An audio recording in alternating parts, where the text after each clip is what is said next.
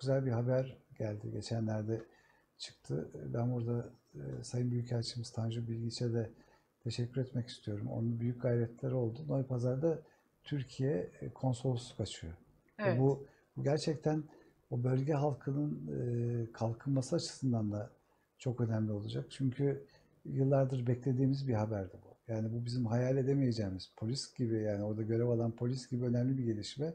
Noy Pazar'da bir Türk başkonsolosluğu açılacak. Yani bu ne demektir?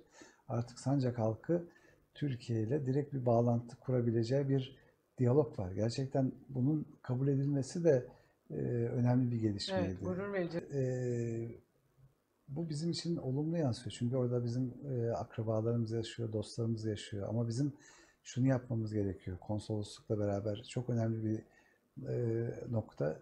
Biz e, DEİK olarak e, son iki yılda iki tane iş forumu yaptık. Belgrad'da ve İstanbul'da.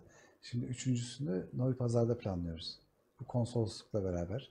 Konsolosluğun açıldığında çok görkemli bir açılış planlıyoruz. Belki Sayın Cumhurbaşkanımızın ziyaretine denk getirip İnşallah. öyle bir açılış yapmayı hedefliyoruz. Orada da o bölge halkının kalkınmasını sağlamamız gerekiyor. Çünkü benim içim acıyor. Yani o Novi Pazar'a bir yatırımcı götürme şansım e, yollardan dolayı yok.